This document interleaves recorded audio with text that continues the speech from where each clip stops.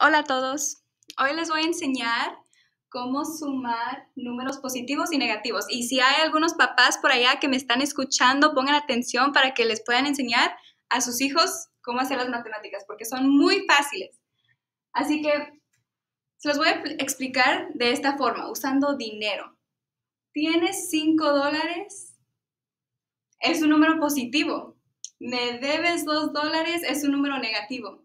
Esto es lo único, es muy fácil. Vamos a empezar con este problema.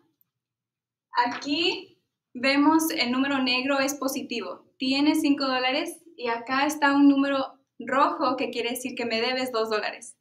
Entonces, si tienes 5 dólares y me debes 2 dólares, ¿cuántos te van a quedar cuando me pagues?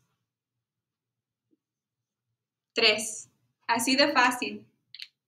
Entonces no hay ninguna excusa para que no entiendan este, este concepto. Aquí en el segundo problema es un poquito diferente porque ahora el número negativo es más grande que el positivo. El número negro, que es positivo, son 2 dólares. Es el dinero que tú tienes. El número negativo es rojo, quiere decir que me debes 5 dólares.